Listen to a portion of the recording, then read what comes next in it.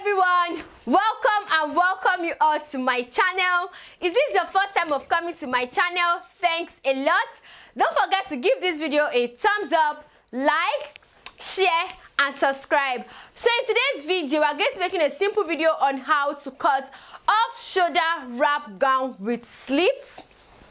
off shoulder pencil gown with slits in front so like we're having combination of off shoulder we also have wrap and we also have our pencil gown with slits in front and i hope you find this video very educative and very informative don't forget to give this video a thumbs up like share and subscribe visit us on our facebook page 3d designs and also on our website where you are going to find different and educative article on how to cut different styles. All the details are going to be in the description box below. So what are the basic measurements required?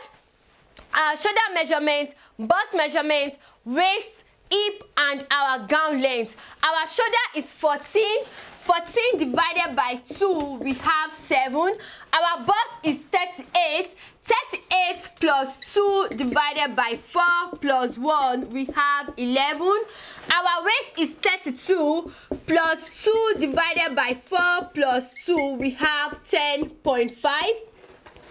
Our hip is 40 plus 2 divided by 4 plus 1, we have 11.5. And our gown length is 39 plus 2, we have 41 inches. So these are the basic measurements required when we want to achieve our off shoulder i'm going to show you guys how to calculate the measurement required for you to achieve your off shoulder and of course we are going to start first with our pattern drafting before we head into the fabric and with me here i have my pattern paper Now, one thing about this pattern paper is it's about 60 inches long and it comes in a bundle. So when you are dealing with topics that require long length, you are going to have like your full length on this pattern paper. And guess what? This pattern paper is available at our store. I'm going to put down the details in the description box below. So let's move straight into the pattern. Our basic measurements. Now, our weight, shoulder to arm o nine and half shoulder to arm o nine shoulder to bust nine and half shoulder to under bust thirteen and half shoulder to waist seventeen and half waist to upper hip six inches waist to lower hip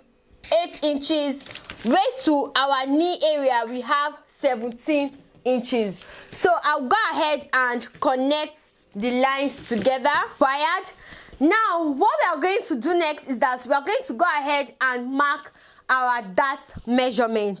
so firstly you have to like label your lines we have our armhole bust under bust waist upper hip lower hip knee length and our gown length so once you've labeled it it helps you to know where to place your accurate measurement so once you are done with that we'll go ahead and mark our dart measurement which is four inches on our waistline we mark half inch on both sides on our waistline mark half inch on both sides we mark four inches all the way down we'll go ahead and connect our lines together now the essence of this upper hip is to enable you know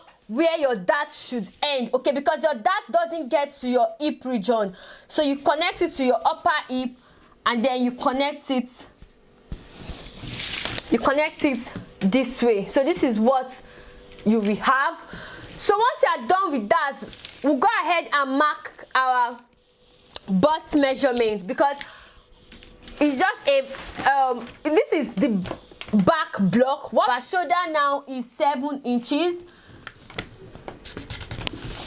our bust is 10 our bust is 11 inches our waist is 10.5 our hip is 11 inches now you mark your hip measurements on you mark your hip measurements on your lower hip line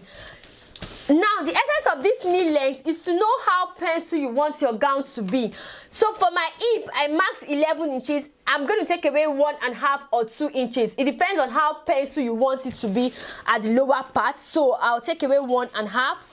I will extend my nine and a half to my gown length. Once I'm done with that, I'll connect the lines together. Connect your hip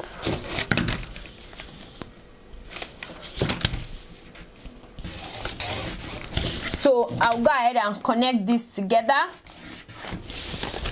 now i'm going to go in with i'll connect my shoulder line to my bust point my bust line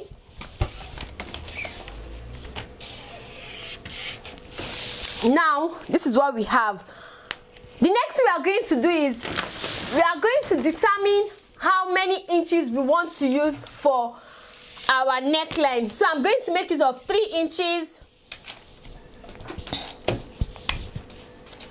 so because this is the back block your deepness of your neckline shouldn't be more than one inch or one and a half at most so i want it to be round shape on my armhole line i'll mark inch for my shoulder slope so this is what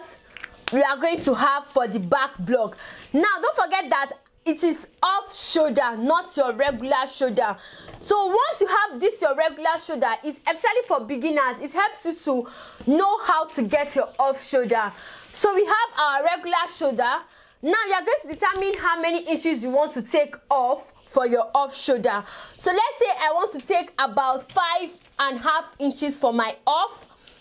five and half inches i will mark where i have five and half inches so I'll go ahead and connect it with a straight line so this is where i have five and half inches now on this line i'm going to mark my arm or oh, my shoulder measurement which is seven inches so this is where we have our shoulder measurement let me zoom it in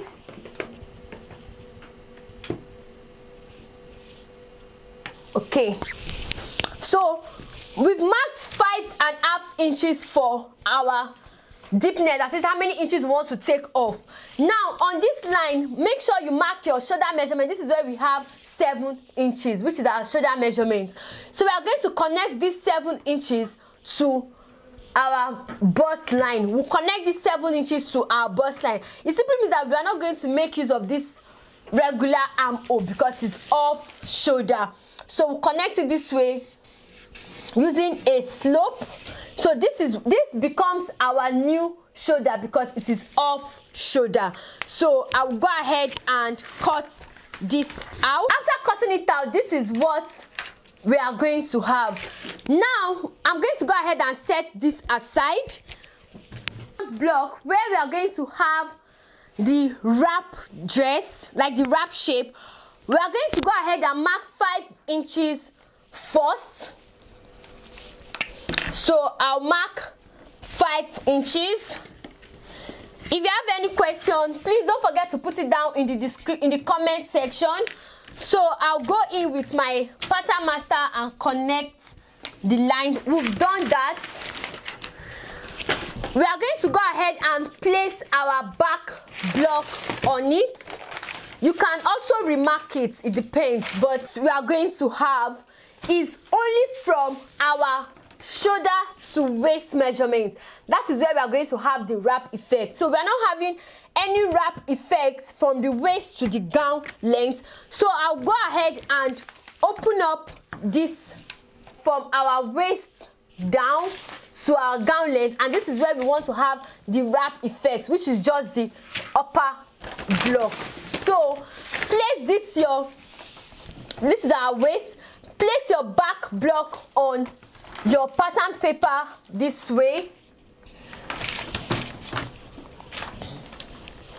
on your pattern paper this way now i will go ahead and trace this out you can trace this out now you are going to go in with your pattern master and determine this is where our let me take away the back block so you can see that thin it out this is what we have just like what we have for the back block now we are going to go in with your pattern master and connect this this is where your shoulder starts from let me zoom it in okay this is where your shoulder starts from we are going to connect this your shoulder line to where you have your waistline this is our waistline so we go ahead and slant this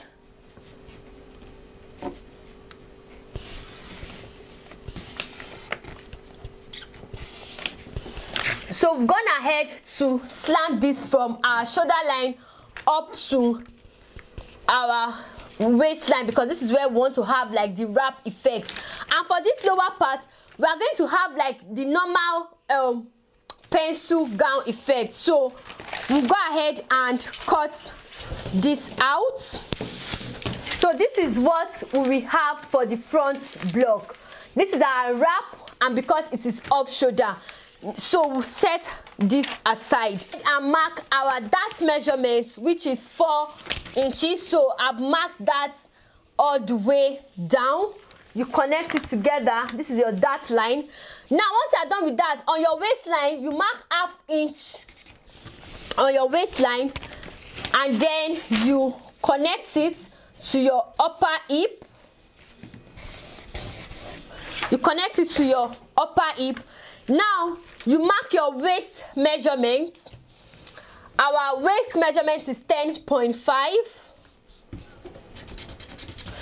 and our hip measurement is 11.5 on our knee length we took away one and a half inch we, so we are going to make it of nine and a half just like the way we did for the back block so we'll go ahead and connect it together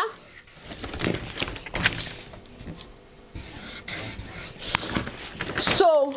the difference let me cut this out so that i can show you guys what it looks like this is what we are going to have and we are going to have our wrap effect this is what we have for the front block now because it's going to have slit in front it simply means that we are going to open up our dart line because it's going to have slit in front so that's it basically so this is the front block how it looks like and this is what we have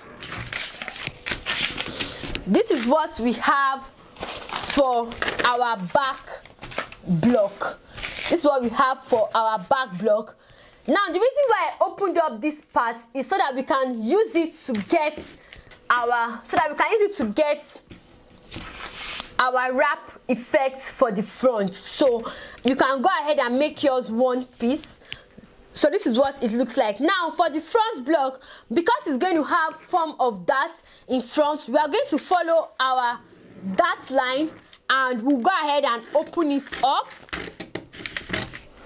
I'm going to open it up totally we are going to end up having these three pieces for the front and for the back you can determine to have two pieces or you can leave it as one piece just mark this together so this is what we have basically for the pattern now at our store and you guys should also visit our website we have so many amazing beautiful african prints that are available so for the back block i have so i'm going to go ahead and cut this out so after cutting it out this is what we have for the back i'm going to tape this together so that i can have my full front I'm going to tape this together so that I can have my full front piece so I'll go ahead and cut this out now I've cut this out we've gone ahead to open it so this is what we are going to have you have like one piece this way you have like one piece coming this way and your second piece coming this way to give you like your full block so we are going to place this this way now and open up this part to serve as our dart paper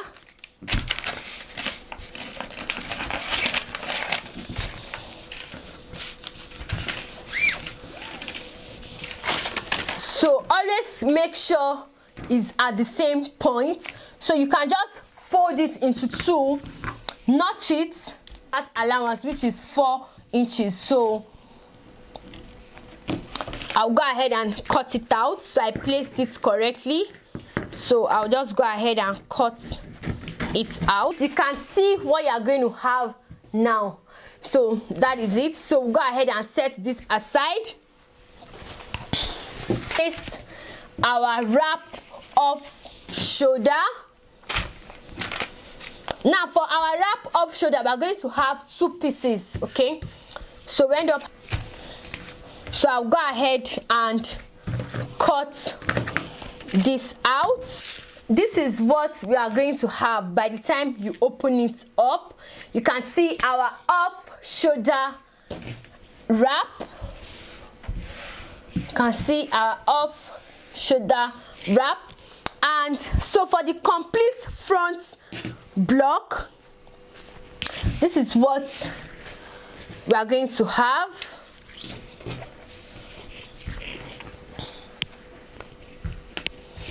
and i love the fact that the slits fell where we want to overlap so like you have it just coming this way so this is what we have for the front block my lining so if that is to place your fabric on your lining place your fabric on one and a half inches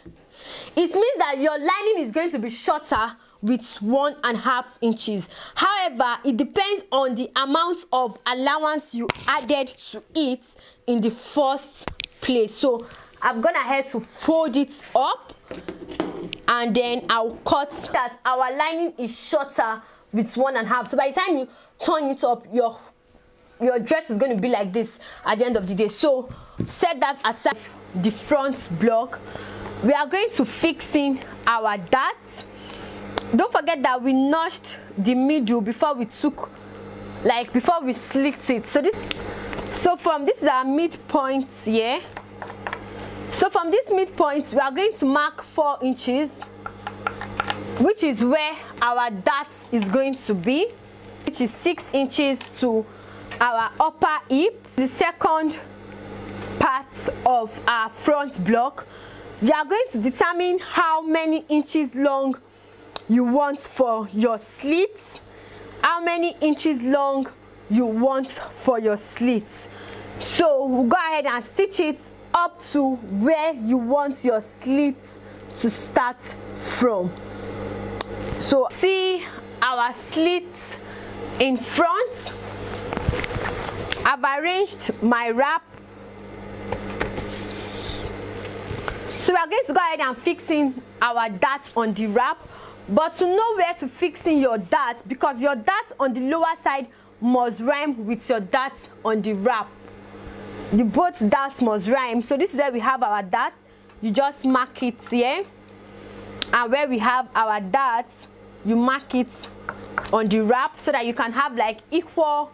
that line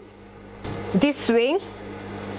making sure that the two dots meet each other But it looks like you can see sleeve now I've, i have a video on how to cut off shoulder sleeve so you can go ahead and watch that video part to the front one side of my sleeve I'll stitch it to the front second side to the second sleeve